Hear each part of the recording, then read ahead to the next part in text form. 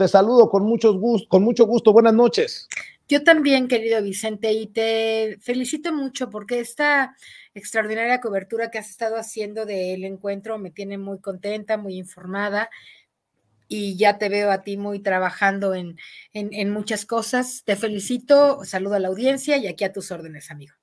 Gracias, muchas gracias, Gela. Pues hacemos lo que podemos con lo que tenemos, mi querida Gela, y espero que la audiencia de Sin Censura lo aprecie y se beneficie de ello. Por lo menos eh, que se beneficie de tener otra opinión, otra versión de los hechos, no solamente de los medios tradicionales y corporativos, sino de un medio como Sin Censura, que en las dos reuniones bilaterales, la de lunes entre el presidente de México, Andrés Manuel López Obrador, y su equipo, y el presidente de Estados Unidos, Joe Biden, y su respectivo equipo, Fuimos el único medio alternativo digital e independiente acreditado y con acceso a ese salón en donde se desarrollaron las eh, negociaciones y el día de hoy la misma historia.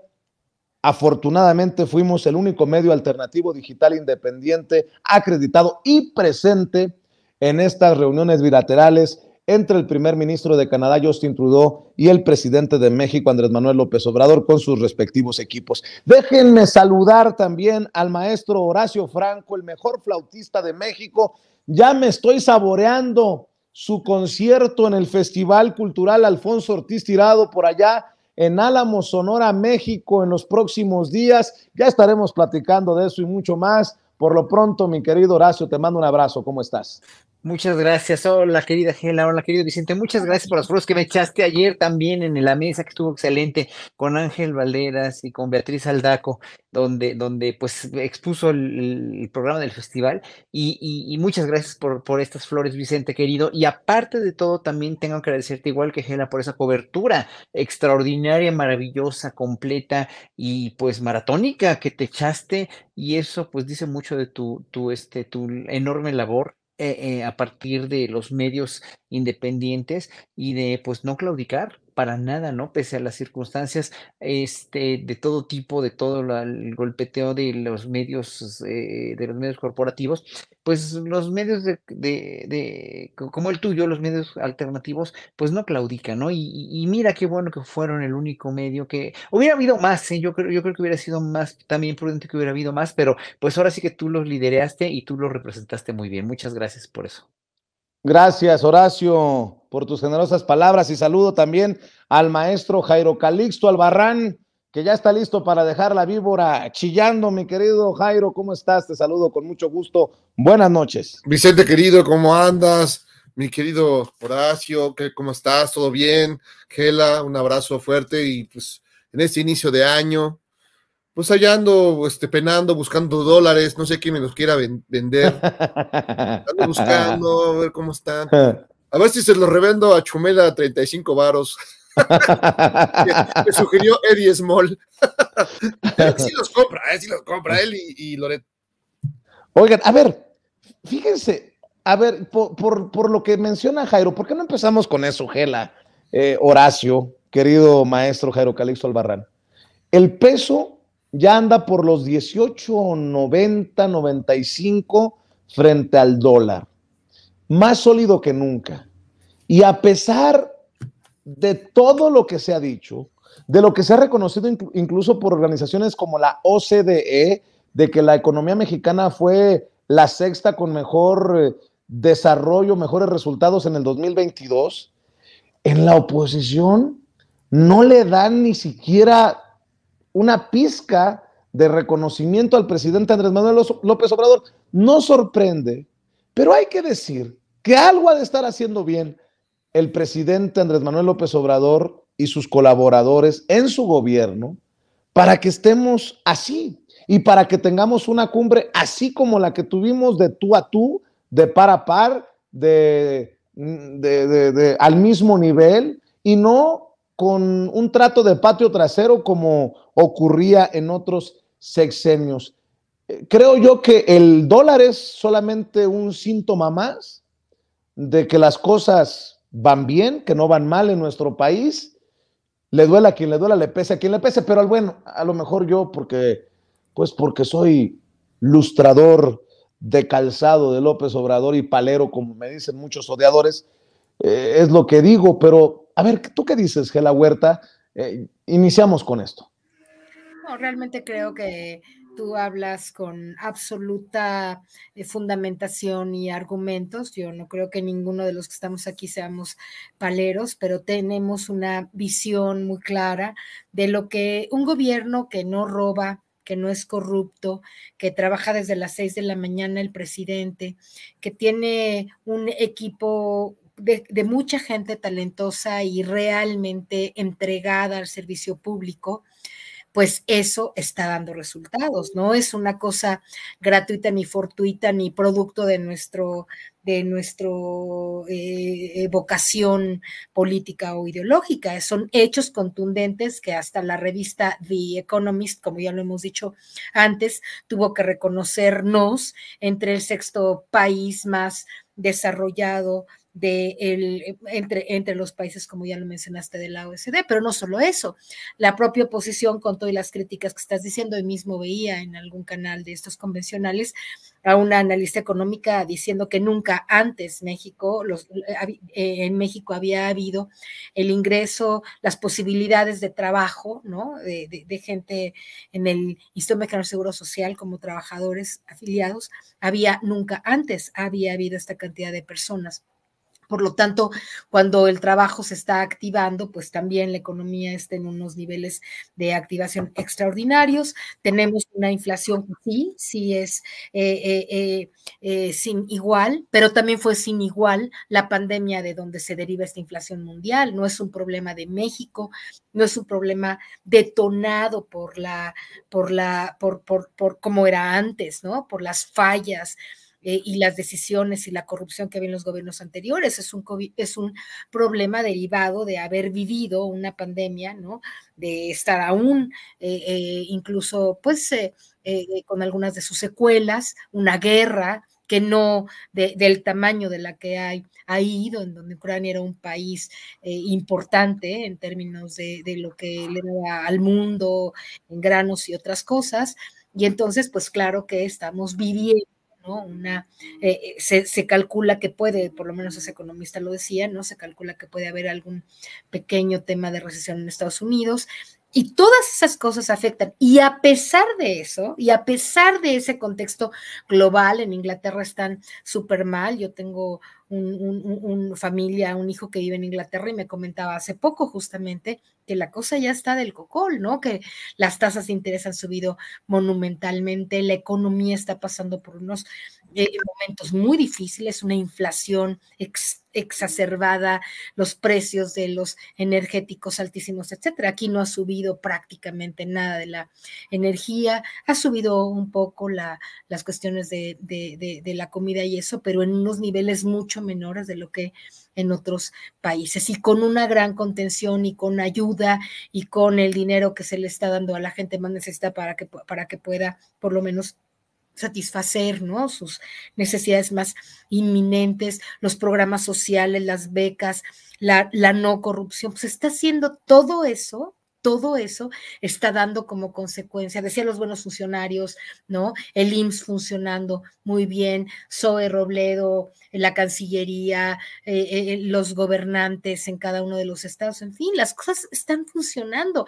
Nadie puede negar más que los enloquecidos y enojados odiadores de la televisión y la radio, excepto ellos y la gente que los sigue, que lamentablemente pues, son algunos millones, todo el mundo estamos viendo una situación que a pesar de pandemia, a pesar de la guerra, a pesar de la inflación, a pesar de, los problemas económicos en Estados Unidos, a pesar de eso, un dólar estable, gente como nunca ingresando al trabajo, una inflación contenida, los energéticos a, buenos precios, o sea, hay muchos detalles, crecimiento, eh, eh, eh, bajo pero, pero estable, ¿no? Eh, paz social, tranquilidad, desarrollo. Hombre, ¿cuándo? ¿Cuándo había habido que la gente nada más se ponga a pensar cuándo en este país estábamos viviendo las circunstancias que hoy está, a pesar de la pandemia?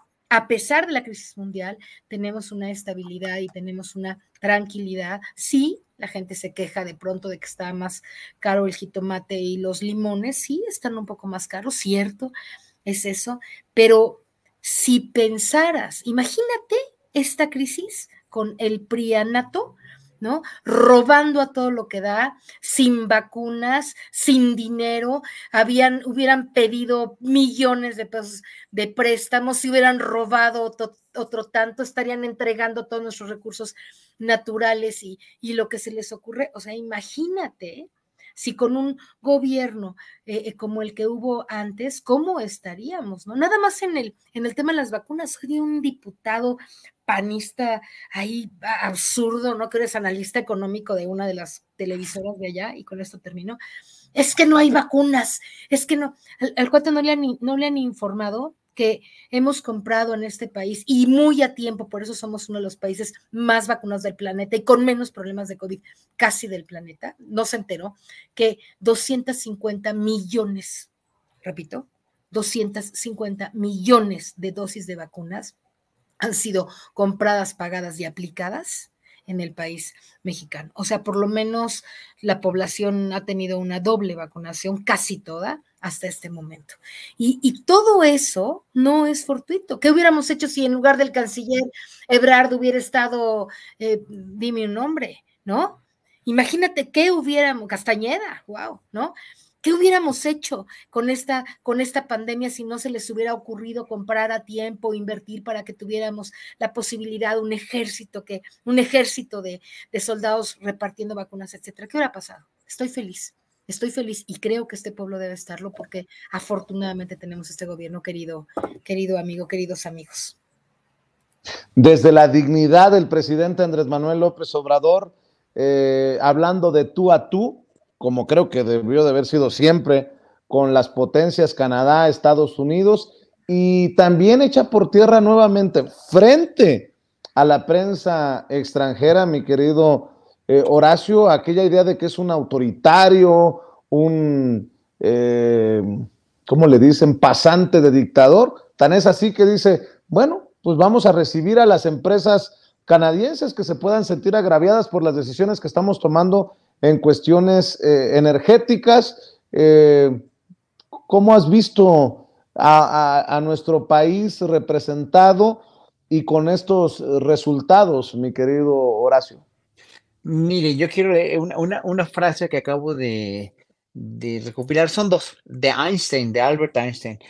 Dice esa frase que los grandes espíritus siempre se han encontrado con la oposición violenta de las mentes mediocres. Esa es una.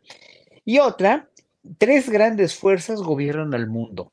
La estupidez, el miedo y la codicia. Pues más claro no puede ser, ¿no? Para, para, para, para resumir en dos frases de Einstein, a quien pues el que no reconozca que Einstein era Einstein y ha sido uno de los mayores genios que ha dado la humanidad, pues entonces están perdidos, ¿no? Ya, eh, o sea, si, si Einstein hubiera tenido esta oposición mediocre, que pues seguro, sí la tuvo, sí la tuvo en algún momento de su carrera, pues se topó con. Todos los grandes genios, todos los grandes líderes han tenido precisamente estos, estos, eh, estos enemigos o esta gente que está súper ardida.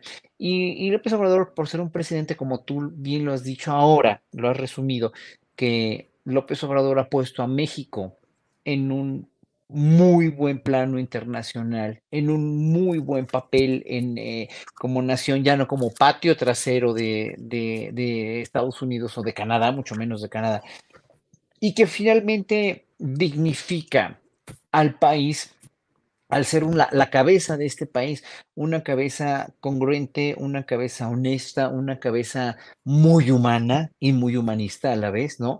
Eh, la, foto del, elevador, el, cómo se porta, como, como, dijo incluso, también lo dijo Einstein, entonces llevamos un niño adentro, ese niño no hay que dejarlo, no hay que dejarlo fenecer, no hay que, no hay que reprimirlo, ¿no? Y estas cuestiones tan humanas y tan, tan tiernas del presidente, pero también tan fuertes como un estadista, lo hacen un hombre verdaderamente muy completo y muy, y, muy, y totalmente, pues un hombre de su tiempo y una de las más grandes figuras políticas que ha tenido México, ¿no?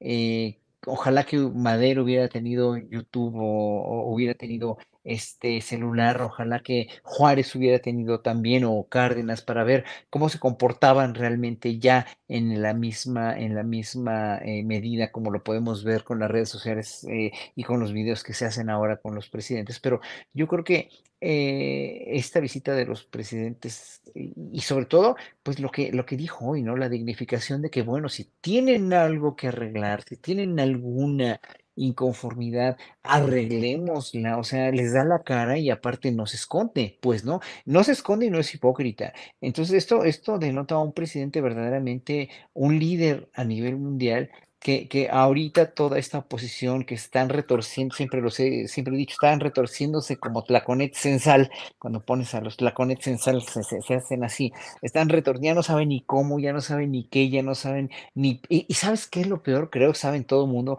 que, que no saben ni para qué, porque yo estoy seguro que ellos, con el poder de nuevo, no van a saber ni qué hacer, ni qué hacer, porque no tienen un proyecto de nación. Entonces, el no tener proyecto de nación, el no, el no, el no, incluso los mismos intelectuales que están detrás de ellos, ¿no? No tienen y no saben qué hacer y lo único que hacen, eh, pienso, pienso, pues en todo, en todos los intelectuales orgánicos, ¿no? Que en un momento dado me, me, entristecen porque al, al, pertenecer a una, entre comillas, intelectualidad, pero tan disfuncional como, como la que hay ahora, no, no son capaces de proponer ningún proyecto de nación a ninguno de los que están al frente de los partidos políticos, que son gente tan mediocre como Marco Cortés, como, como el, de, el del PRD, como, como Jesús Zambrano o como Alito Moreno, ¿no? Este innombrable ser tan despreciable, que finalmente ellos menos que nadie, menos que nadie tienen un proyecto de nación. O sea, ¿cómo es posible que se diga un, una gente como Zambrano se diga de izquierda? Pues, ¿no? O sea, cuando se junta con la derecha más recalcitrante por el simple hecho de patalear y dar, dar así gritos de, de, de que quieren otra vez el poder, pero ellos mismos ni saben cómo, ni sabrían cómo, porque no tienen un proyecto. Entonces, todas, todas las críticas que se susciten, todos los, los chumeles y la gente, los bufones de esta, de esta oposición, porque son bufones, no son otra cosa más que bufones, simplemente no, no pueden contribuir con nada y al no contribuir con nada, finalmente se hacen bufones, se hacen bufones de un sistema el cual quieren regresar, pero ya no saben ni para qué, eso es lo que yo digo, ¿no? Entonces, la dignificación, obviamente, de, una, de un presidente como López Obrador, eh, con todo el apoyo popular, pero también con todo lo que es él como un político con un colmillo que le llega hasta el suelo, evidentemente, pues eh, posiciona a México en verdad como, como no sé, como, como, un país con un líder verdaderamente irrepetible. Y lo digo con todo el riesgo que conlleva la elección de los del próximo 2024, donde se tienen que cuidar muchísimo todos los flancos, todos los, las corcholatas, todos los que quieren llegar a ser presidentes de México por la izquierda, incluyendo a, a, Noroña, incluyendo a Monreal, incluyendo a Sheinbaum, incluyendo obviamente a, los, las tres corcholatas principales del presidente, sí, pero todos ellos tienen que cuidar exageradamente todas las formas, todas las cosas, palabra que digan, acto que digan, todo lo que hagan para verdaderamente poder dignificar el nombre de quien los precedió, que es Andrés Manuel López Obrador. Y eso sí les va a costar mucho porque la, la, la cuestión de caer en estas trampas de, de, de de ensalzarte a ti mismo como, como, como, como posible presidente, pues es una tentación muy grande, pero tienen que poder con ella, tienen que, yo creo que eh, no, no, es una crítica, sino una sugerencia para, para todos ellos, los que quieran ser presidentes, ¿no? Que, que pues la llevan de ganar porque, porque van a competir por Morena, pero tienen que ser muy prudentes, tienen que ser enormemente correctos. Y bueno, eso es nada más lo que quería decir, pero bueno, un 10 para López Obrador en esta cumbre, ya eh, obviamente se dijo mucho y se habló mucho de todo lo que conllevó, de todo lo que no se dijo, de todo lo que finalmente no se cacareó como pensaban que se iba a cacarear, de toda esta, esta estupidez de Gilberto Lozano em, lanzando este mensaje en inglés, además en un inglés, cuando pronuncia los nombres, Marcelo Ebrard, O sea, ya, López Obrador. Exacto, o sea, da, vergüenza ajena, pero además dices, no, ya más mediocre no puede ser, porque en verdad, ese, comparar a, López Obrador con Manuel Antonio Noriega ya son palabras mayores, ya es precisamente esta estupidez de la que se jacta, o más bien de la que enuncia tanto este Einstein también cuando dice que hay dos cosas infinitas, ¿no? El, el universo y la estupidez humana, y es en verdad deplorable ya, ¿no? Ya ya ni, o sea, no habría por qué pelarlos, diría yo, no habría por qué, por qué este, no habría por qué hacerle segunda, pero creo que toda la gente que estamos con la izquierda y que estamos conscientes y bien informados, gente que oye los medios alternativos y los ve, evidentemente sí tenemos una labor, como lo hemos platicado mucho con Gel aquí, de, de de, enunciarle a la gente que está, a esos millones que dijo Gel hace ratito que están desinformados, hacerlo. Pero es tal, tal, tal la resistencia de esta gente a escuchar medios alternativos o a ver medios alternativos que en verdad no puedes, no puedes, lo, digo yo con familia, familia política mía cercana, o sea, no se puede en ningún momento hacerlos de veras, ¿no? ¿Y con quién te informas? ¿Con Loret? No, no, yo me informo con el IFAI, sí, ándale, pues, ándale. Eh, no, no, no, a ver, coteja datos y checa también, ve la mañanera. No es que me da flojera como habla. Ay, mira, entonces, por favor, y miren nada más cómo se viste. Y empiezan otra vez lo mismo, las mismas este, eh, estupideces por los cuales criticaron a Beatriz Gutiérrez Müller ayer, ¿no? Eh, o sea, estas cosas que dices, no, ya no es posible tanta puerilidad y tanto odio. Pero bueno, lo tienen, lo seguirán teniendo. El problema es no pelarlos y tratar de contrarrestarlos, como el señor del avión de Villahermosa a México, de Mérida a México, que pues López Obrador le, le dijo, bueno, es que usted va, nunca va a cambiar, pero pues hay que cambiar a la gente joven, nada más. Pues sí. Y como nosotros tenemos siempre otros datos para contrastar ese México eh, que se va al, al vacío, ese México que se está yendo rumbo a Venezuela, dicen algunos. México, ojo con esto, México es el segundo país en el mundo con el más alto aumento real al salario mínimo. Y no lo dice Vicente Serrano, y no lo decimos solamente en sin censura, ni es idea de Jairo Calixto, ni del maestro Horacio, ni de Gela Huerta. Lo dice la OCDE, que posicionó a México en el sexto lugar entre las economías con mejor desarrollo en el 2022. México es el segundo país con el mayor incremento al salario mínimo en el mundo, según la Organización para la Cooperación y el Desarrollo Económicos, la OCDE. La información se da en, un contexto en, el, en los que la inflación llegó a tasas nunca vistas en más de 40 años en algunas naciones. Según la OCDE, Turquía ocupa el primer sitio en el rubro de incrementos al salario mínimo, que hasta septiembre de 2022 registró un aumento anual real de 15.9%. México, por su parte, ejecutó uno de 12.2%.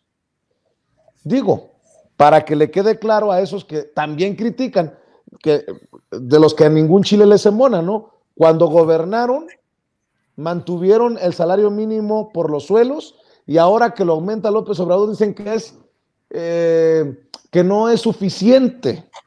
Bueno, pues esa misma oposición es la que le pone apodos a Beatriz Gutiérrez Müller y la que le reclama al presidente Andrés Manuel López Obrador por abrocharse los dos botones del saco. Saco un susto a la oposición con los números que estoy presentando esta noche en Sin Censura. Mi querido Jairo Calixto Albarrán, ¿cómo viste la cumbre? ¿Cómo viste al presidente? ¿Cómo viste a Beatriz? ¿Y cómo viste a la oposición? Pues mira, yo por principio siempre sacudo por no barrer, porque eso es lo que uno se, plantea de entrada. Pero eh, yo ya me imaginaba ya este, a Xochitl Galvez eh, yendo a levantar un acta en contra del peso mexicano por andarle, por andarle ganando al dólar. Entonces, es, una cosa de, absurdos en los absurdos que, que, mira, a mí me da mucha risa. Yo sé que mucha gente se pone de nervios, pero la verdad es que a mí me da mucha risa lo que, lo que dicen y cómo la realidad, pues ya ves cómo es la realidad, ¿no? Es terca. Entonces la realidad los contradice, ¿no? Todos estos nos tragamos de a peso ¿no? De que, ay, ahorita estaríamos a 80 pesos el dólar. ¿no? Y, casi, casi rezaban y le salió mal, porque evidentemente este tema del dólar, ese tema de eh, la acumulación de, capital en, las, en la Bolsa Mexicana de Valores, o sea, no solamente ganó la bolsa eh, en un día, sino que ha acumulado capital, lo cual es otra cosa más importante. O sea, incluso en el mismo territorio del capitalismo salvaje se están ganando espacios y por más que grite Claudio 3X González todos los días en su tweet, no, nos estamos muriendo de hambre, o sea, nos estamos, papá, ¿no? Y, todo su séquito, todos sus, todos los, este, los paleros de Alarraqui, los paleros de Sheridan, todos están gritando. Cuando tú ves la realidad, dice, claro, no es la jauja, evidentemente, todos tenemos problemas para cosas, ¿no? Pero no es el, no es lo otro, no es el atraco en despoblado que veíamos, no, lo, dijo Gela muy bien, lo, el tema de las vacunas, yo siempre he dicho, si hubiera estado un panista o un prista en medio de la, de la, de la pandemia, es muy probable que muchos de nosotros no estaríamos, no, no estaríamos vivos, no sería una, una población más desamparada, porque si vendían las pruebas COVID en las delegaciones panistas, aquí en Coyoacán, ¿no? Allá este, en, en la Benito Juárez, ahí en la sede del cártel inmobiliario. Imagínate lo que hubieran hecho con las vacunas. No, hombre, o sea, el mercado de vacunas hubiera, negro hubiera estado espeluznante, se lo hubieran robado. Bueno, ya sabes, esa historia no es difícil de imaginar. Entonces, eh, la economía ha crecido, ha tenido Mira, mira, la OCDE no le vamos a acusar de ser un órgano comunista ni socialista. Y, su, líder es, es el, ángel de la dependencia, ¿no? Mejor conocido como el ángel de la dependencia. Entonces, pues si es que tiene datos duros, los datos concretos, ¿tú crees que se los van a inventar? Pues no, la economía está funcionando por una multitud de razones. ¿Por qué? Pues evidente, como ya, ya les anunció Gela en muchos sentidos, pero es eso, pues hecho bien el trabajo en esa, en esa parte. ¿Qué cosas que no están bien? Pues por supuesto, pero esto va avanzando. Entonces, que, la oposición no sea capaz deja ya de tener un poquito de dignidad, un poquito de sentido común, sino por lo menos, ¿no? Eh, plegarse a ciertas cosas y decir, no, pues aquí sí, la neta sí, sí, sí es cierto, pues la neta sí está funcionando. Entonces, apuntar sus cañones a otro lado porque ahí lo están desperdiciando miserablemente. ¿No? Y lo vemos en muchos aspectos de toda su intrincada, su intrincada manera de buscarle, como dicen, eh, chichis a las culebras, ¿no? Ya lo, de la lectura de, de, cómo estaba sentado este Trudeau y cómo estaba sentado Biden, ¿no? Y cuando vieron la imagen, yo me imagino la cara de la señora Tijerina cuando vio la imagen de, todos metidos en el elevador sonriendo. Como bien dijo este Horacio, estaban jugando, estaban siendo niños, ¿no? A sus 80 años, este, ochenta y tantos, Biden, Trudeau, todos estaban jugando. Eso, eso echa por fuera todo lo anterior de que se odiaban, de que lo regañaron a AMLO en, el, en la bestia, ¿no? De que le dieron manazo. Entonces, e, eso no se compra, a menos que yo creo que mañana van a decir que en realidad les ofreció el bolsón de Mapimí, ¿no? El, el, este, caleta caletilla o algún otro para que se comportaran bien. No, esto es producto de un trabajo, de una, bueno, de una bonomía, de un buen ánimo, ¿no? De, si vamos a negociar, vamos a, tener pues diferencias, pero pues vamos a concentrarnos también en lo que nos une, etcétera. Entonces, bueno, lo, tristemente a la oposición nada le sale bien. Bueno, ni siquiera, bueno, ni siquiera todo lo demás que han venido creciendo, bueno, la manera tan sopilotesca y buitrona con la que se metieron con el tema del metro, no se diga también el mismo estilo de llenas salvajes, carroñeras, con lo de Ciro Gómez Leiva, que bueno, ya se vio, fue el crimen organizado. Y no como decían que AMLO había estado agazapado tres días en la maleza esperando a Ciro para venadearlo. ¿Qué es lo que estaban diciendo? O sea, ya vamos de locura en locura. Y cuando ves tú los tweets de, pues de, de, la doctora Dresser, los tweets del Chiquilicuadri, los tweets de Claudio, y bueno, de, Álvarez Iguaza, que ese de plano ya amárrenlo, quítenle. Yo no sé quién es el peor, o él o Fox, ya no se sabe.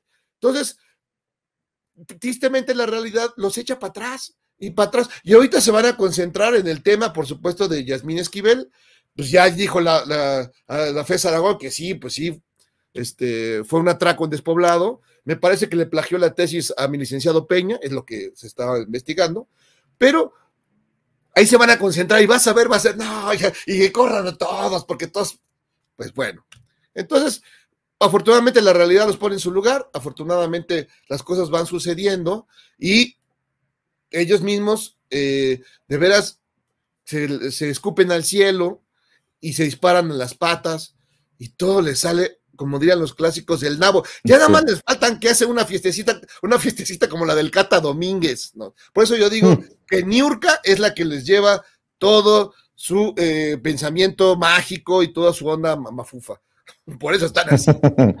Oye, ya que lo mencionas, Jairo, eh, mi querida Gela, mi querido eh, maestro Horacio Franco, quiero leer para la audiencia de Sin Censura este comunicado de precisamente la autoridad eh, competente, en este caso de Yasmín Esquivel, la FES Aragón de la UNAM ha confirmado que la tesis de la ministra Yasmín Esquivel es una copia sustancial de la original que fue presentada un año antes. En otras palabras, de acuerdo a la FES Aragón de la UNAM, si hubo un plagio en el caso de la tesis de la ministra de la Suprema Corte de Justicia de la Nación, eh, Yasmín Esquivel, y procedo a leer, dice, el Comité de Integridad Académica y Científica de la Facultad de Estudios Superiores Aragón informa,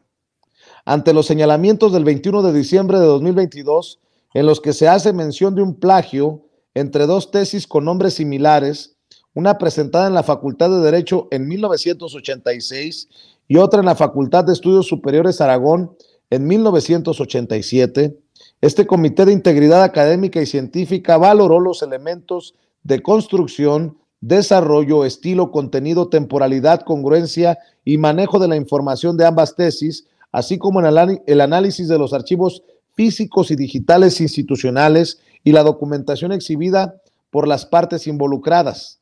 A partir de ello, el comité ha elaborado un dictamen técnico académico del cual se desprende que la tesis elaborada en 1987, o sea, la de la ministra Yasmín Esquivel, es copia sustancial de la original presentada en 1986 por el exalumno de la Facultad de Derecho.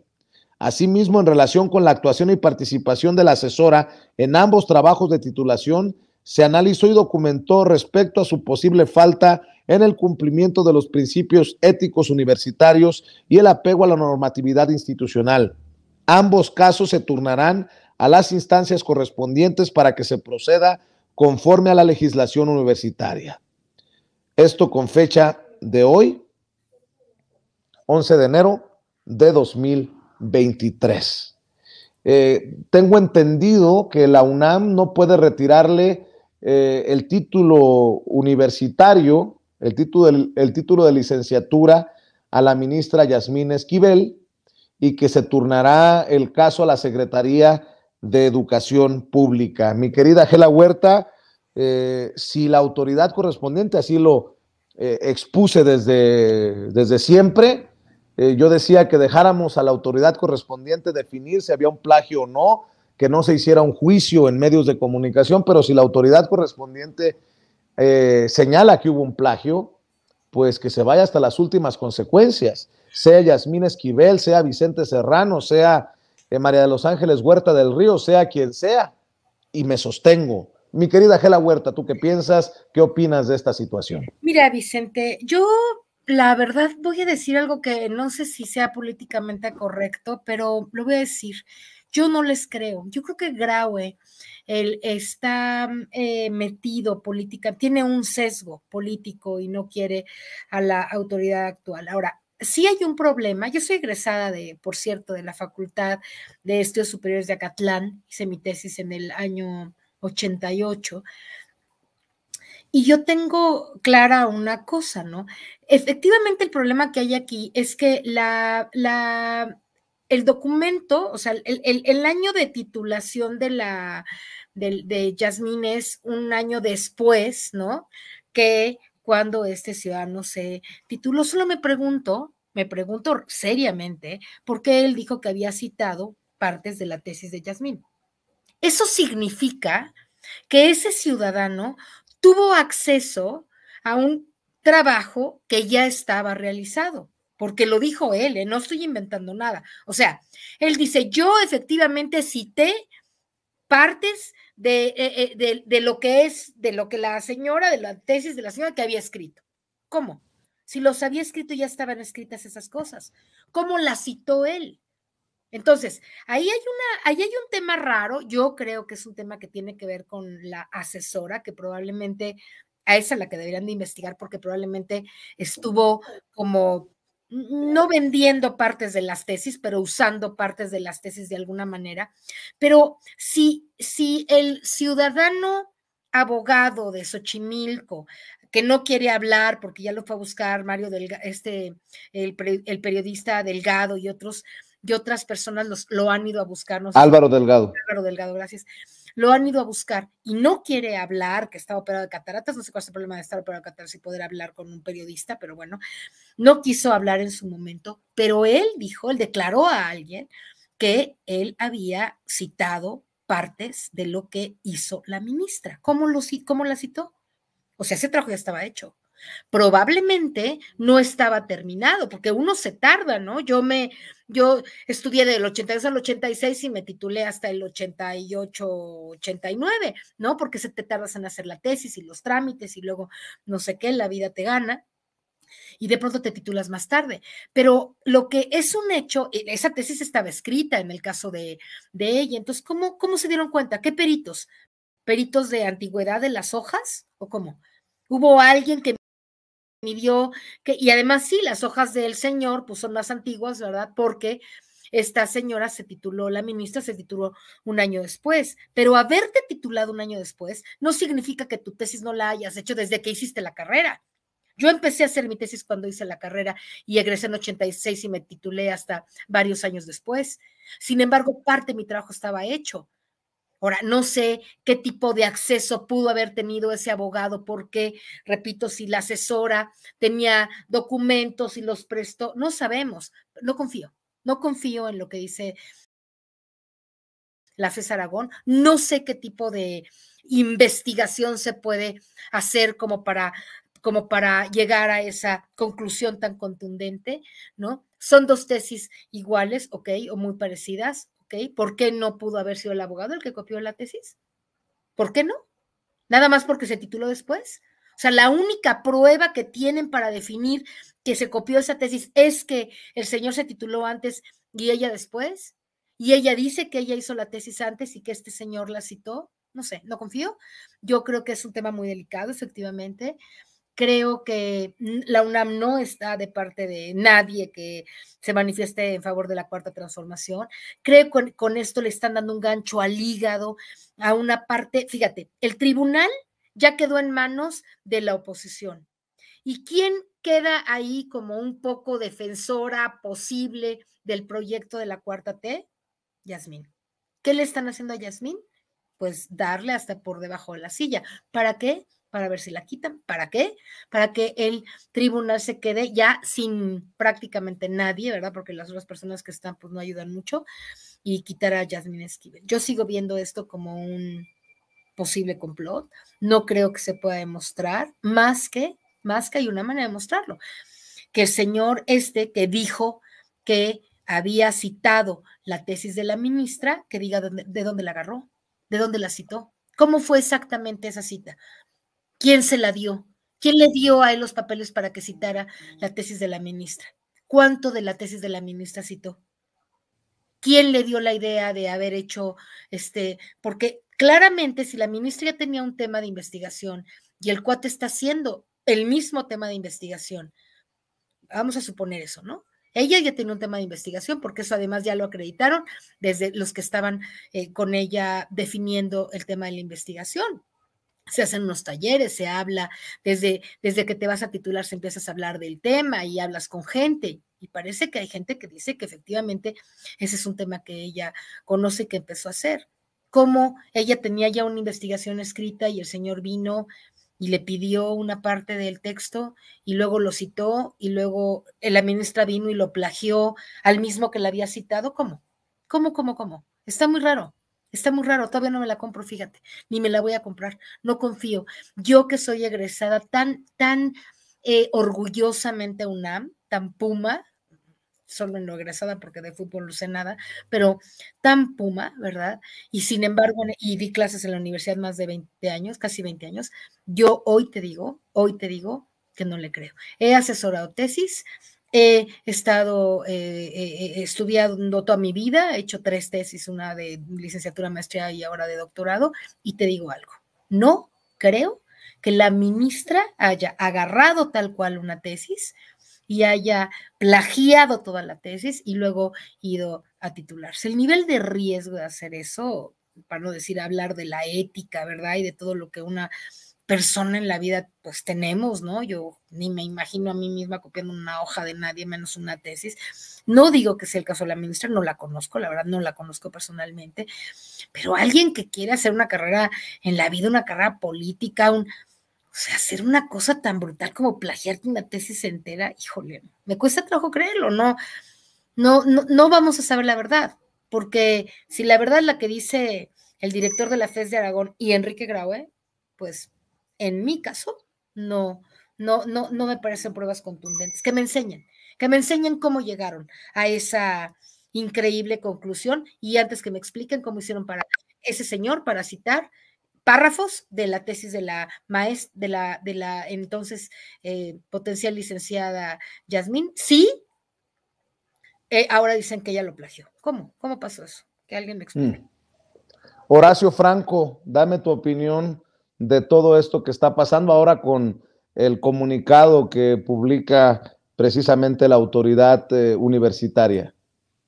Mira, aquí hay, aquí dos opiniones, en, en, dos de las páginas del chat hay dos opiniones, una de Santiago R eh, y otra de, Martín PL, así firman. Eh, Martín dice que se haga una auditoría, no, Santiago dice que se haga una auditoría de la UNAM externa y lo mismo dice Martín también, que se haga una investigación, que se nombre una comisión externa a la UNAM. Mira, el problema con la UNAM, aquí, yo, yo soy muy crítico, yo no soy, nunca estudié en la UNAM, di clases 15 años en la, en la Facultad de Música, bueno, antes era Escuela Nacional de Música, y desgraciadamente la UNAM está permeada por todos los vicios de la sociedad mexicana que se aquilataron durante años enteros, durante sexenios enteros, que es una corrupción, un, un clasismo, un elitismo, un racismo, una, una, una, eh, una planeación académica muy desigual y muy disímbola, también dependiendo de las facultades. Hay facultades excelentes, hay facultades que, que no, que no lo son, la verdad, como en la que yo trabajé. ¿no? En términos generales, no quiere decir que sea todo mal. Hay gente muy brillante en todas las facultades y hay gente que trabaja muchísimo, pero los que más trabajan, y ya lo sabemos, son los maestros de asignatura, que le vienen, dijéramos, este, eh, eh, ahora, sí que cubriéndole las espaldas a todos los, los, los, investigadores, que hay muchos muy buenos y maravillosamente eficientes de tiempo completo, los maestros de tiempo completo, que eh, en un momento dado, pues ganan, obviamente ganan unos sueldos asasasazos impresionantes. Los maestros de asignatura ganan unos sueldos de hambre, ¿verdad? Entonces, todo esto hace a la UNAM una, un, un microcosmos, o tan microcosmos, un macrocosmos académico verdaderamente pues que es un monstruo de mil cabezas, ¿no? Y que es un monstruo que se tiene que limpiar, es un monstruo que se tiene que, que, que actualizar, que tiene que actualizar sus legislaturas, sus legislaciones, porque no pueden seguir así con esas injusticias y, que finalmente, bueno, yo, yo metí esto porque, bueno, hay que, hay que, hay que meter también una, una eh, o sea, hay que ser conscientes de que en la UNAM hay corrupción también, y hay mucha corrupción, y hay mucho favoritismo, y, bueno, eh, como, eh, yo lo hago esto, aduciendo un poco lo que, lo que decía Gela, complementando un poco, ¿no? Y, y si no hay más vueltas, más tuercas que, que voltear en el caso de la tesis, ¿no? Si no hay más por, de dónde hallarle, si ya se hace un fallo definitivo, incluso por investigaciones externas a la UNAM, ¿no? Eh, Obviamente también aquí hay que ver esta promiscuidad de tesis de la, de la asesora, ¿no?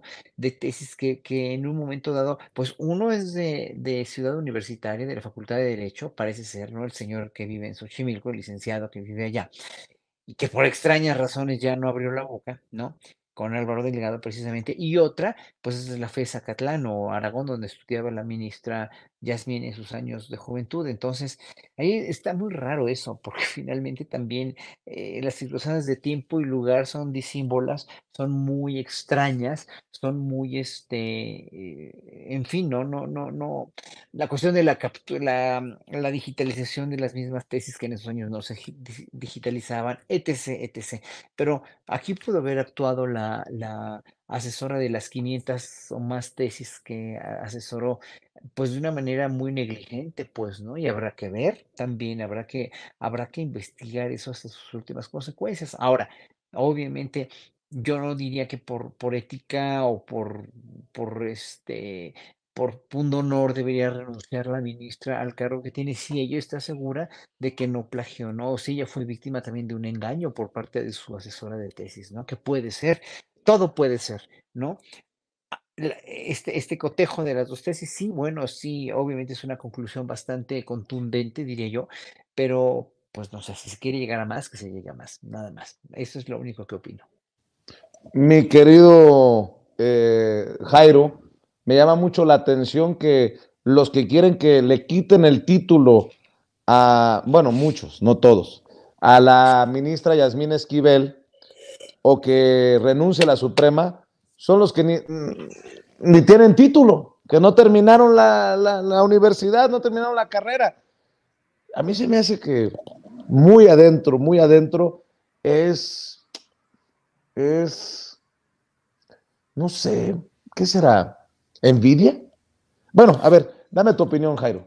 Pues es una, es una historia este, tenebrosa que nace fundamentalmente del odio y el rencor.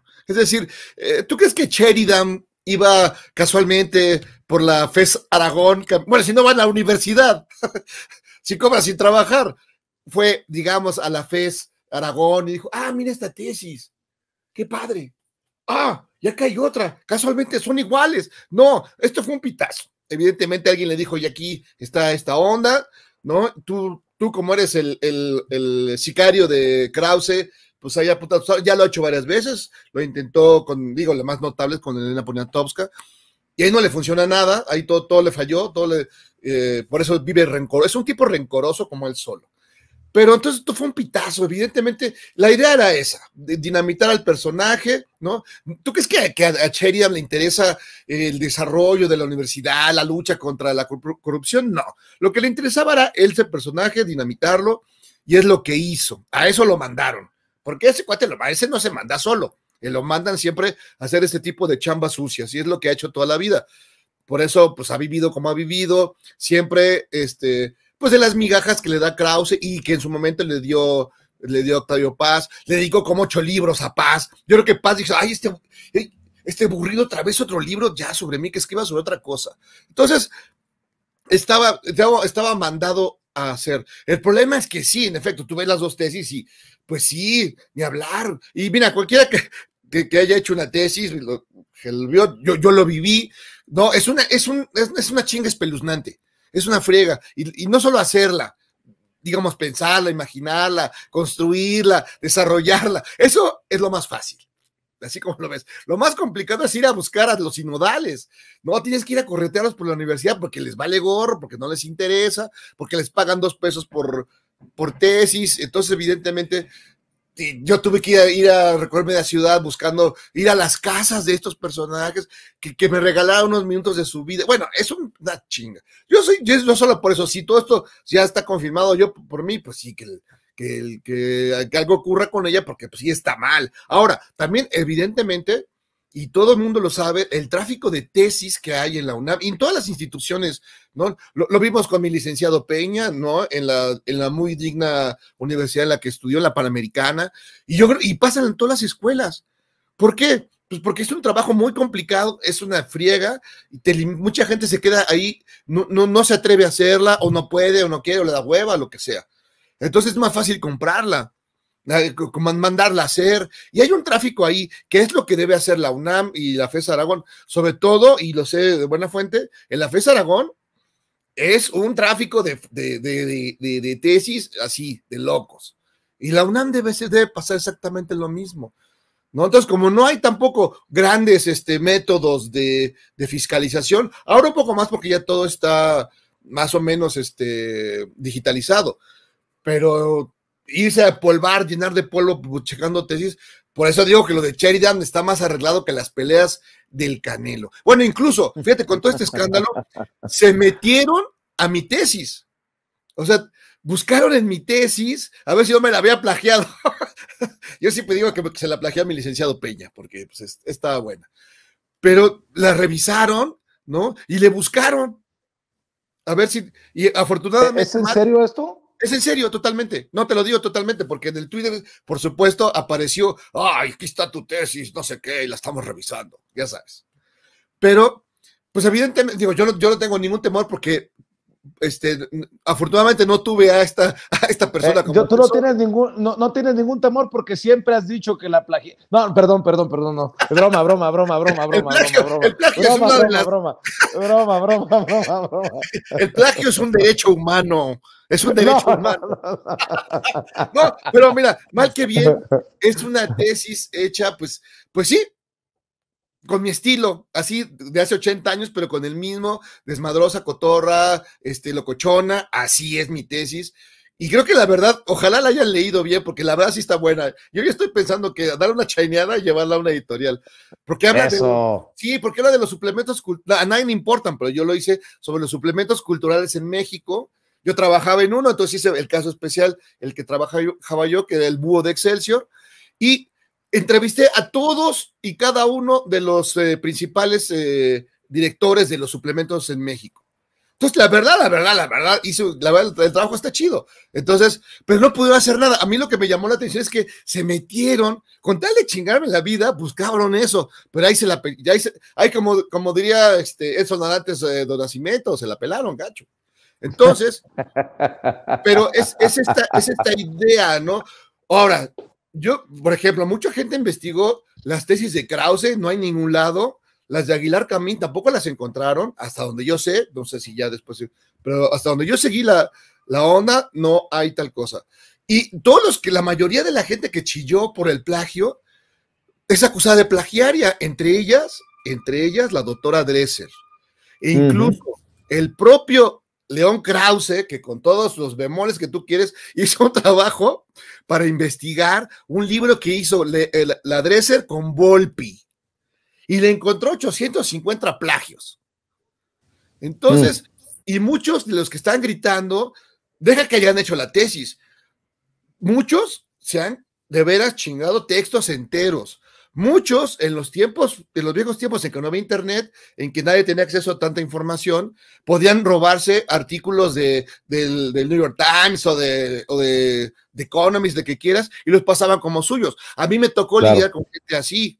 O sea que, que, que, de pronto todos, ay, ay, ay, ay, Dios mío. No, perdón. Pero sí la UNAM sí tiene la obligación, yo creo, de investigar todo eso, porque sí hay un mercado, y ellos lo saben, nos hagan güeyes, de tesis. Deja esto. Esto es un tema, digo, difícil y complejo porque estamos hablando de una ministra, ¿no? Y estamos hablando de la pelea por el poder, estamos hablando de la tremenda corte. Pero en general hay un montón de doctores que no, que no tienen, que no tienen, este, que se, que se, que se robaron su título, hay un montón de ingenieros haciendo puentes y edificios, sobre todo supongo yo que ya en la, en la Benito Juárez, con el cártel inmobiliario, haciendo edificios chuecos. Entonces, mm sí vale la pena echarle una mirada a todo eso. Oigan, a ver, para cerrar, eh, Gela, Horacio, Jairo, un tema muy difícil, otro tema difícil. Reportaron ahora humo en la estación Politécnico de la línea 5 del metro. Híjole, yo la verdad no quería pensar en la posibilidad de un sabotaje, pero ya me parece esto muy, muy cabrón. Vea las imágenes.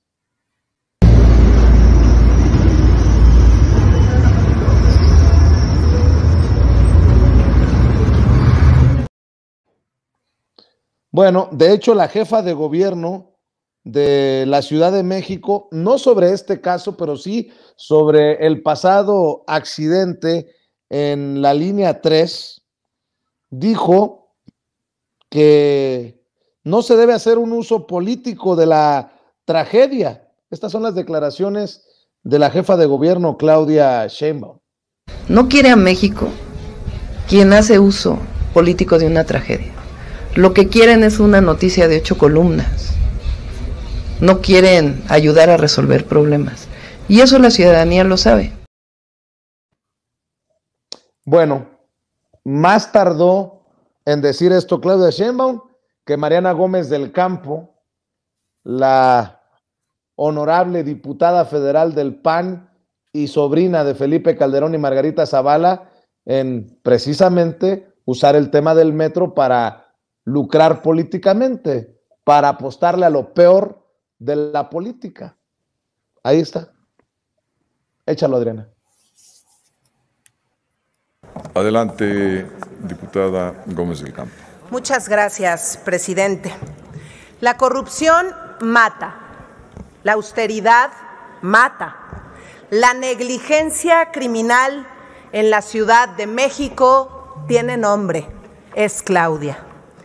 Dedico esta intervención a la memoria de Yaretsi Hernández, joven de 18 años estudiante de artes plásticas y víctima mortal de la tragedia en la línea 3 del metro de la Ciudad de México. Tres de las cuatro tragedias han sido durante la administración de Claudia Sheinbaum. Les recuerdo que el metro se inauguró en el año de 1969. ¡Qué impotencia! Que personas que utilizan el metro de nuestra ciudad como medio de transporte resulten perjudicadas por la ausencia de nuestros gobernantes. Cinco millones de usuarios al día, 80 millones de usuarios al mes. Esta tragedia era evitable si hubieran hecho su trabajo, si hubieran atendido las cientos y cientos de quejas sobre las fallas del metro y los miles de reportes sobre la falta de mantenimiento. Pero ¿qué creen? El hubiera no existe. Es muy cínico que en lugar de reconocer el se problema... me hace, Mariana Gómez del Campo, que tampoco existe mm, esta versión que usted se está inventando. Porque Claudia Sheinbaum, la jefa de gobierno de la Ciudad de México, le manda un mensaje la jefa de gobierno dice que tiene otros datos sobre la supuesta falta de mantenimiento y la supuesta falta de inversión en el metro de la Ciudad de México. Tú tienes las declaraciones de la jefa de gobierno, Adriana. Eh, se está trabajando todos los días para tener siempre un mejor metro.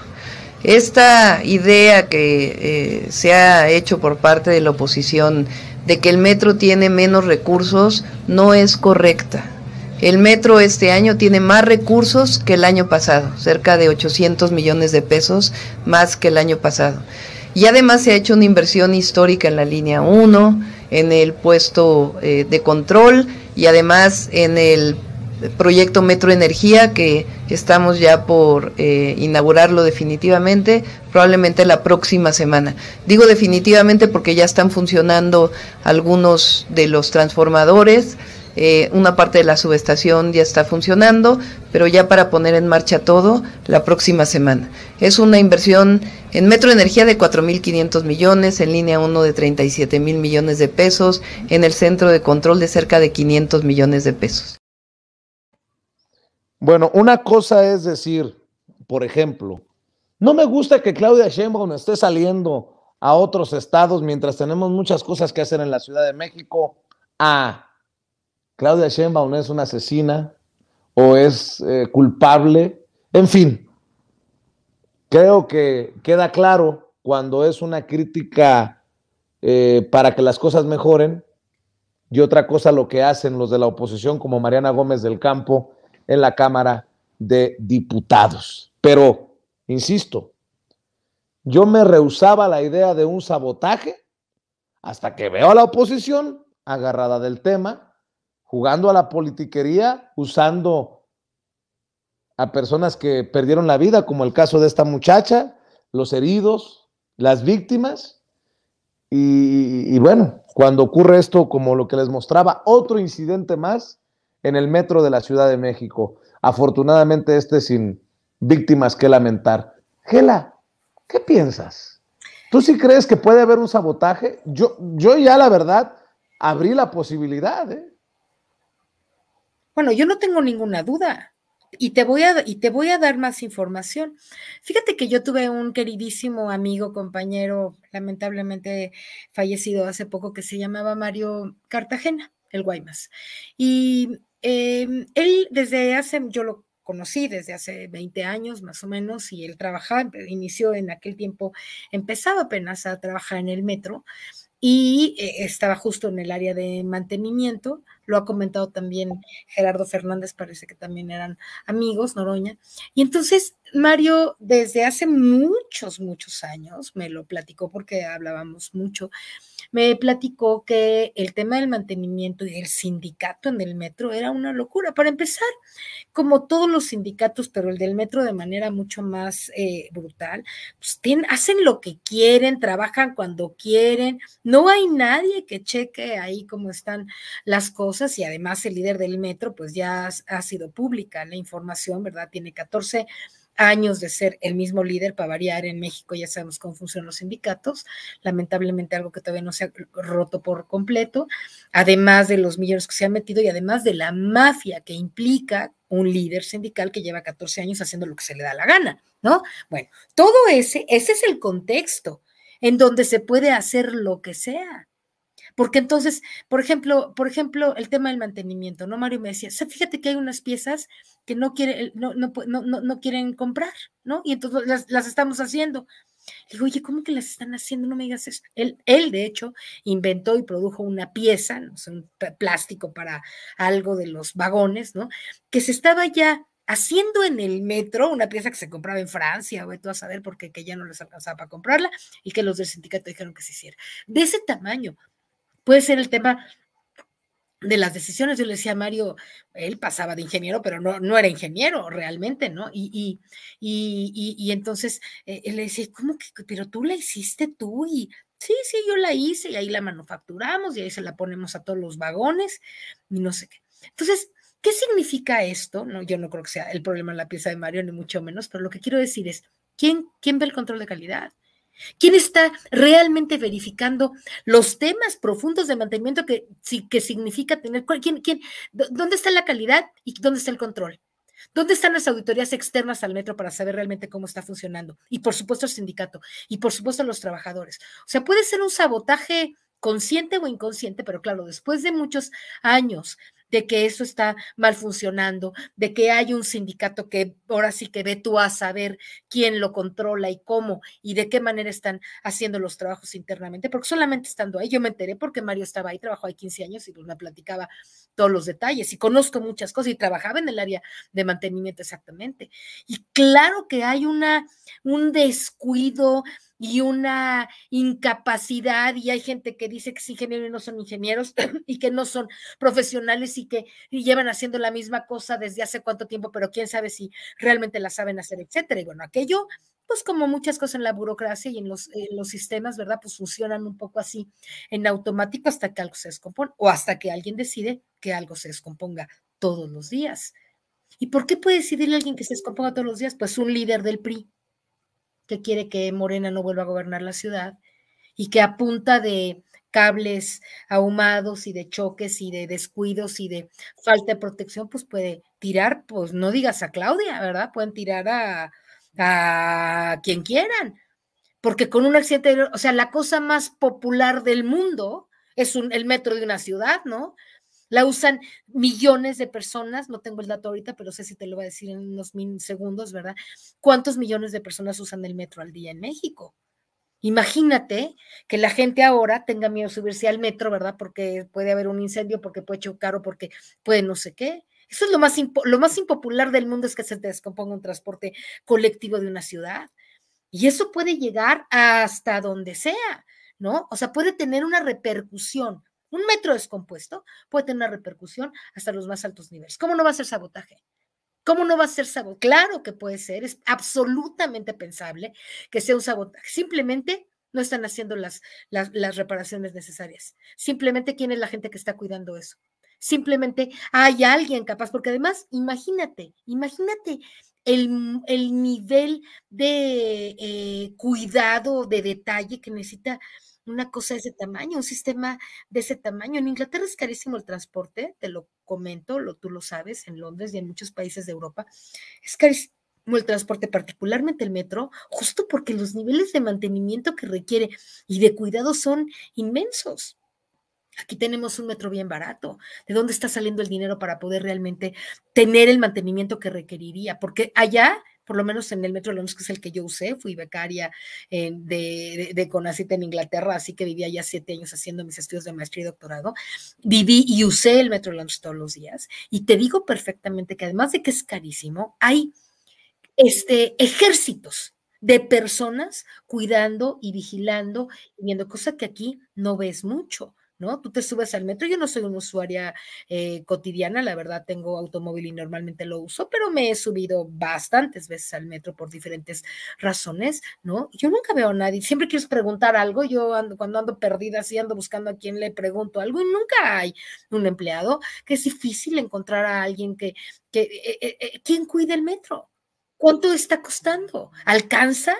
Un, transporte tan barato para realmente tener un mantenimiento de ese tipo. Según Claudia dice ahora, pues sí alcanza, pero si alguien por dentro te quiere estar fregando diario, te puede fregar diario.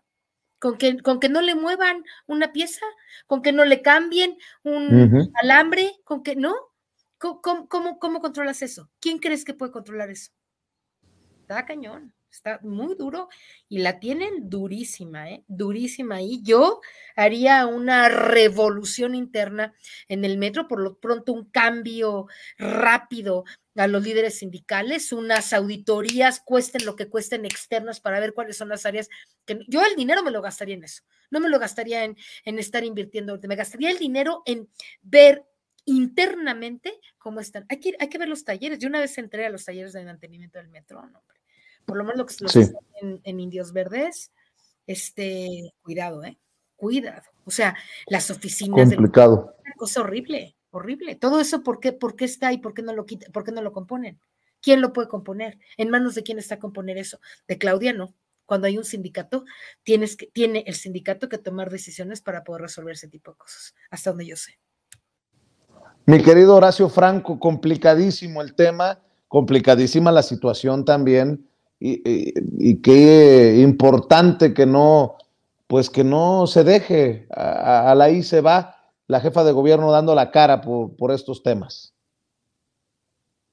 Híjole, sí es muy delicado y le puede golpear mucho a, la posible candidatura de Claudio Sheinbaum en, en, el, en el 2024, pero eh, yo como Gela y apoyo esto, en realidad, ¿no? Se, debe hacer una limpia interna, una revolución interna en el metro. El sindicato es muy disfuncional, ya lo sabemos todos. Eh, sí parece un boicot, o sea, porque esto ya, ya se está saliendo de, de, de, o sea, de la lógica, dijéramos, ¿no? Si en 50 años no había habido eh, tanto, tantos percances como en este sexenio, obviamente aquí pues puede haber mucha mala leche del sindicato, puede haber negligencia, puede haber falta de presupuesto, que ya dijo Claudia Sheinbaum que no, y, ya explicó la cuestión presupuestaria. No sé, eh, yo creo que sí, evidentemente en el metro hay muchas aristas. Otra vez, igual que la UNAM, el metro mismo, el sistema de transporte colectivo de esta ciudad es un reflejo terrible, reflejo de la sociedad mexicana tan dividida, tan corrompida, tan, tan desigual. Y entonces sí, obviamente habrá eh, em, empleados del metro que den su vida y que sean exactamente rigurosos y meticulosos, y hay otros que no también, ¿no? Y hay otros que, que por sus mismos intereses políticos están tratando de boicotear, tal vez, ¿no? La cuestión es que pues no se boicotea, no se boicotea con, lo que pasó en, en, la línea 12, pues obviamente ahí sí fue una, una cuestión de, de, negligencia de construcción y de seguimiento en la construcción y en la, y en el mantenimiento, pero esto, esto no, o sea, no se sabotea de una manera donde vas a exponer la vida de las personas, ¿no? O sea, todavía lo del humo, dices, bueno, ¿no? Y además a mí me ha tocado en el metro, yo, yo hoy, me, hoy por hoy desde hace más de 12 años me transporto en bici, ¿no? Pero cuando me he subido al metro y me subía mucho más al metro antes, evidentemente sí había humo y había problemas técnicos siempre. En el metro de Nueva York los hay, en el de Londres los hay, en, o sea, son, o sea, son, son, las cosas son, son siempre, aunque tengan buen mantenimiento, siempre la, las cuestiones de, de, los, de los rieles, de los ferrocarriles y de la cuestión de los mismos autobuses, el mismo coche de uno pues, se puede descomponer, la misma bici se descompone, o sea, tiene, aunque le des un mantenimiento, de repente tienes un accidente y chino, un hoyo sazo o lo que sea, obviamente, ¿no?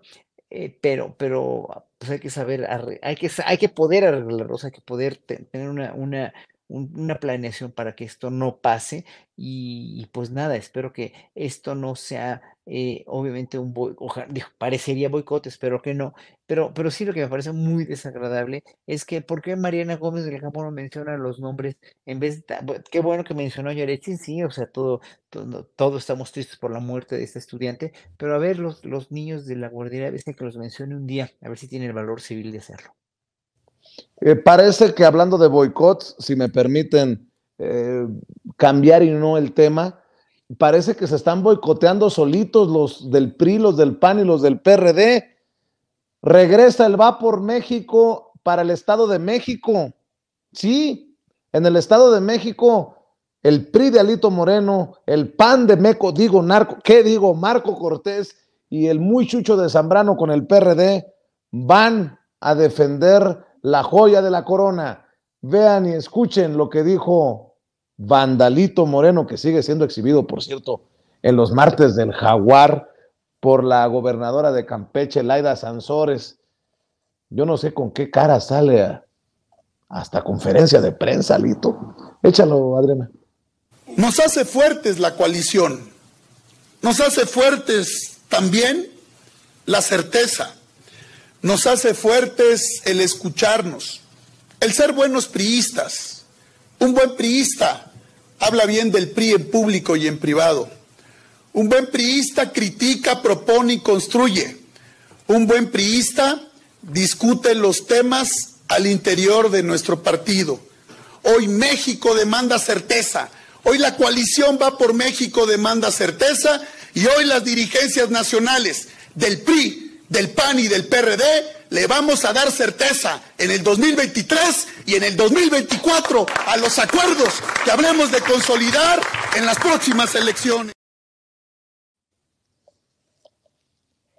Jairo Calixto Albarrán, yo, yo ya me quedé sin palabras, me quedé perplejo ante un alito moreno tan profundo, tan tan buen priista. Nótese mi sarcasmo. Te voy a decir como le dice el buen Alito Moreno Javier Tejado, ese gran, ese, ese gran leguleyo. Papo, ¿cómo estás? Papo, es un personaje, mira, lo que es increíble, bueno, pues, digamos, formalmente, que el PRI, el, eh, que, el, que el PAN y el PRD eh, se quieran seguir juntando con ese monstruo espeluznante. ¿No? Y Claudio 3X, pues, pues se lo compró, compró al monstruo, pues ni modo, pero ya se dieron cuenta que solitos no van a saber ni a melón. O sea, sí, ahí sí tiene esa claridad y con, y con, con estas burras hay que, hay que arar, ¿no? Con estos bueyes. Entonces, están, eh, están dispuestos a todo y ni modo, tienen que, y se tienen que juntar con este personaje siniestro, este tranza, eh, hablador. Ese sí es el típico prista como de los 70, más o menos ahí de ese, de ese nivelazo, ¿no? Que, que él, lo que, lo que le importa es tener más y mejores McLarens, baños más grandes para su, para su ego y él. E, es lo que le interesa, a él no le importa, bueno, ni siquiera le importa el PRI. Bueno, porque está la cosa que, que hasta personajes como Osorio Chong, ¿no? Como, este eh, Claudia Ruiz Macié, pues están buscando la manera de, desbancarlo, pero no pueden porque tampoco ni tienen el prestigio, ni tienen este, la ética, ni el poder para hacerlo, ¿no? y este que es un patanazo, que es un absoluto gañán, ¿no? Y, tranza y todo, bueno, pues se lo está llevando al baile, con ellos al PRI, porque al final, lo que, lo que, pues por todo lo que se plantean a, partir, de todo es temprano, las encuestas, pues está del nabo lo que les espera el futuro, es muy, muy incierto, pero no tienen de otra más que juntarse entre ellos y mira, primero se tenían asco, luego se lo perdieron, luego se volvieron a, luego se volvieron a, perder el asco y luego se lo volvieron a tener y luego lo volvieron a perder. O sea, llevan en esto porque es una relación imposible. Imagínate una reunión ahí este, en el patio, en el patio de, de la casa de Claudio ¿no? Porque no los deja entrar a la sala, no, los tiene allá afuera, ahí, ahí en, el, en la perrera, ¿no? Y, y este tipo desagradable, gritón, panchero, ¿no? Que, que, es como de veras un ser siniestro, y los otros, y Marquitito Cortés, que es así, chaparrito intimidado, ¿no? Que, y, y, el otro Zambrano, que es otro patanazo, pero, pero no le llega a, lo, a los, a los, uh, a los, a, a, los tacones. Entonces, es una relación mal es una relación tóxica. les queda la canción de la tóxica del grupo firme. No, entre ellos, obviamente. No, espérate. Van a terminar un día como, como, como Shakira y Piqué. Y,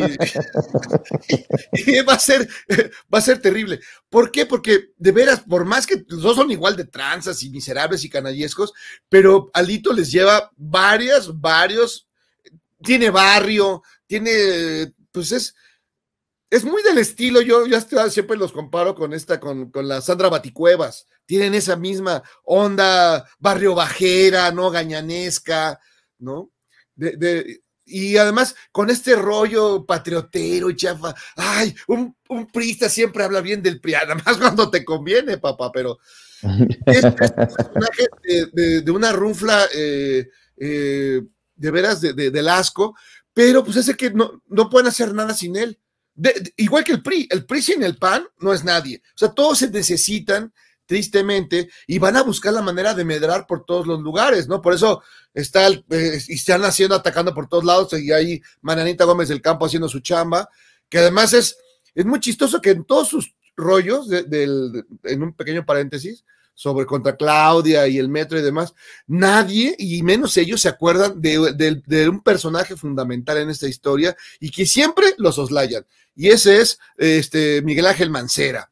Miguel Ángel Mancera, acuérdate, él fue el que dijo que iba a arreglar ese metro. Y luego que más dijo que, que, iba a cobrar más para dejarlo mejor y no de nada sirvió. Y además tienen a sus operadores aquí chambeando y, y este haciendo esas cosas eh, tenebrosas, que por eso yo sí, yo también soy de la idea de que ya hay algo, hay algo podrido en esta onda. Digo, no dudo que mm.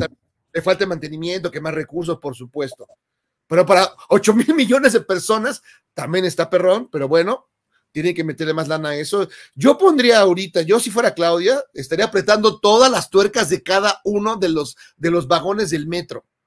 Y con, y con Martí Batres, los dos, ahí ¿no? Y Harfush y todos ahí apretando tuercas, echando aceite donde deben, cambiando llantas, porque ahí está, ahí está el pan, ahí está el pan fijo, buscando la manera de meter la pata. Pero bueno, pero a final de cuentas, yo creo que lo, de Alito y la reunión de estos eh, horribles personajes va a terminar siendo una mala orgía, una mala orgía donde... Yo no conozco esas todavía, por eso... No, no, no, pero te voy a pedir detalles. A mí tampoco me han dicho, pero, pero va a ser una mala orgía porque todos ahí, tú crees que se quieren, tú crees que se hablan por teléfono para el cumpleaños, tú crees que dicen, oye, vamos a la polar a echarnos una birria, pues no. Dios nos libre, no, no, no.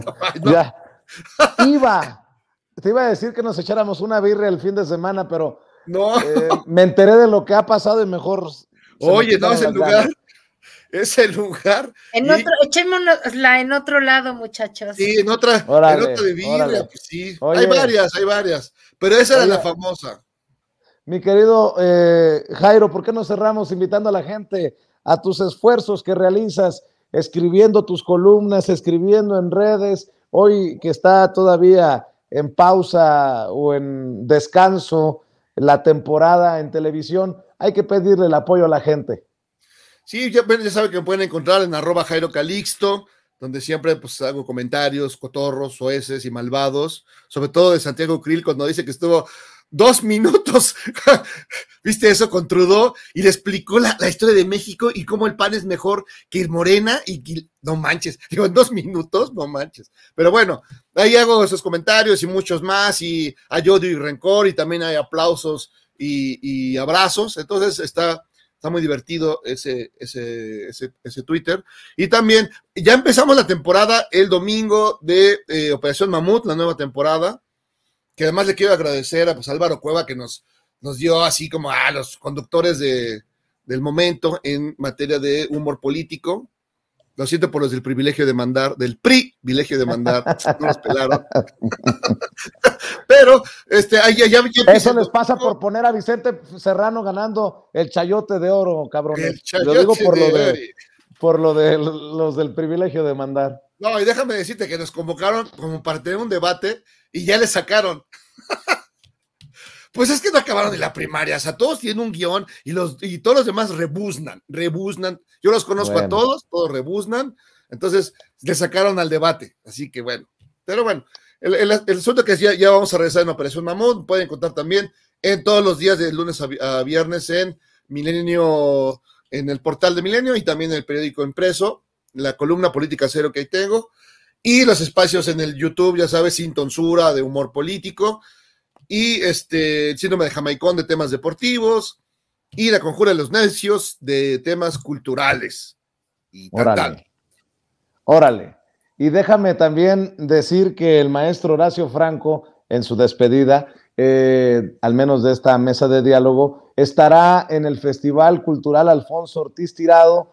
Yo le voy a pedir a la gente de mi Navojoa, de mi Obregón, de mi Guatabampo, de mi Echojoa, de mi Bacobampo, de mi Álamos, que no se vayan a perder el concierto del maestro Horacio Franco. Va a ser un deleite escuchar al mejor flautista de México en unos días en el callejón, en el callejón del templo, con ese templo hermoso, eh, en esos callejones hermosos de mi Álamos, la flauta, la flauta sonará tal vez como nunca antes. Mi querido Horacio Franco, para despedirnos, tus comentarios acerca de tu participación en el Festival Alfonso Ortiz Tirado y obviamente la invitación para la gente a tus redes.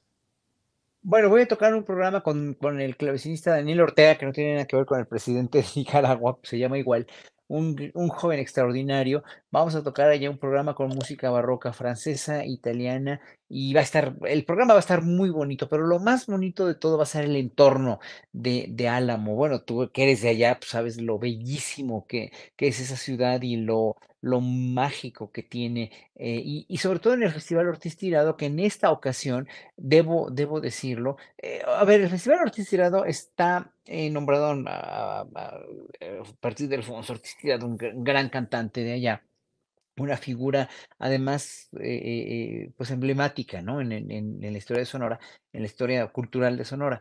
Pero Beatriz Aldaco, que es la actual eh, eh, directora del Instituto Sonorense, que ya debería ser Secretaría de Cultura, digo yo, ¿no? Ya le deben de nuevo Secretaría de Cultura, pero es directora del Instituto Sonorense de Cultura. Ha hecho una labor muy, muy, muy buena, incluyendo en este festival, que era un festival de ópera, de cantantes de ópera, y empezó así, ¿no? Eh, a raíz de esto, ¿no? Eh, y de la sabiduría de, operística y de la, sabiduría de, los libretos y del entorno de la ópera de Ortiz Tirado, está bien, ¿no? Pero ahora con estos horizontes nuevos culturales que tenemos en México se mostró muy incluyente y esta programación realmente está partiendo plaza. Sí es un festival verdaderamente maravilloso, sí es un festival realmente muy incluyente, va a haber música tradicional de los pueblos de allá, ya lo anunció ya ayer, este va a haber música popular, y música clásica, obviamente la ópera, que fue lo que le dio el sustento a este festival en sus principios, pero pues finalmente además se van a entregar premios a mi querida amiga Lourdes Ambris, etcétera, etcétera. Y bueno, pues yo voy a dar un concierto más de todos los conciertos que se van a dar, que va a ser el 24 allá en la noche, pero este, pues lo importante es hacer hincapié en la labor de esta gran mujer, de este gran ser humano que, que es Beatriz Aldaco, porque además pues, ha recibido muchos, muchos golpes y mucho golpeteo político y mucho golpeteo a su gestión, la cual con este festival me parece que se pule como una gestora maravillosa. Qué bueno que lo dices, mi querido maestro. Y en tus redes sociales seguro vas a estar subiendo fotografías y, y también información sobre el festival. Así es, así es, me lo voy a estar subiendo en mis redes que son en Facebook Horacio Franco Flautista, Instagram igual y en Twitter Horacio Franco, arroba Horacio Franco. Muchas gracias y pues nos vemos por allá, mi querido Vicente, en tu tierra maravillosa. Claro que sí, si hay oportunidad en la casa que es tu casa y la casa de todos ustedes. Mi querida eh, Gela Huerta, ¿por qué no cerramos invitando a la gente también para que te apoye en tus esfuerzos independientes? Sí, muchas gracias. Pues ahora sí le voy a pedir, le voy a pedir a la gente que me apoyen. Estoy iniciando un pequeño proyecto en YouTube que se llama Vamos a ver qué dijeron. Un programa que, un pequeño programa semanal que pretende hacer análisis de los contenidos de los medios convencionales. Y bueno, ya, ya, llevo 500 suscripciones y yo le quiero pedir a la gente que nos ayude un poco porque quisiera eventualmente transmitir en vivo y parece que se necesita como una, como un cierto número, no sé bien ahí las cosas, pero sí. entendí que se necesita un, cierto número de, seguidores, de suscriptores, así que si pueden, Gela Huerta en ese, en ese YouTube que tiene eh, lo del programa, vamos a ver qué dijeron y seguimos con el proyecto de los comunicadores del pueblo, tanto en el Facebook, comunicadores del Pueblo hace y también Gela Huerta en el Facebook y en Twitter, querido Vicente, nos ayuda mucho que la gente, como tú lo sabes y lo has vivido ya desde hace mucho tiempo, pues es bueno que dé un like, que se suscriba, que esté ahí presente, porque eso ayuda, digamos, a que se pueda, se pueda este, facilitar el trabajo en las redes. Muchas gracias. Bien. Muy bien, mi querida Gela Huerta. Gracias, Horacio Franco. Gracias, Jairo Calixto. Gracias, Gela. Nos vemos en una próxima oportunidad. Que descansen y muy buenas noches. Gracias. Y bueno, déjenme saludar a amigos, amigas. Regresamos en breve. Pero mientras seguimos hablando sin pelos en la lengua, sin censura, usted puede suscribirse a nuestros tres principales canales en YouTube. Sin Censura Media, en donde tenemos más de 1.600.000 suscriptores. Sin Censura TV, en donde tenemos más de un millón de suscriptores y en Sin Censura Presenta, en donde queremos llegar muy pronto a los 100 mil suscriptores. Si usted ya está inscrito en Sin Censura Media, suscríbase en Sin Censura TV. Si ya está suscrito en Sin Censura TV y Sin Censura Media, suscríbase a Sin Censura Presenta. Recuerde que es gratis, no tiene que sacar un solo centavo de su bolsillo para apoyarnos. Dele clic en la campanita para que los señores y señoras de YouTube envíen las notificaciones cuando estemos transmitiendo en vivo y en directo o estemos subiendo videos. También nos puede seguir en Twitter en arroba guion bajo Vicente Serrano y hasta en Instagram. Ojo, ¿eh? También estamos en Instagram. Son nuestras redes sociales y con el apoyo de ustedes seguimos creciendo porque con ustedes todo, sin ustedes nada.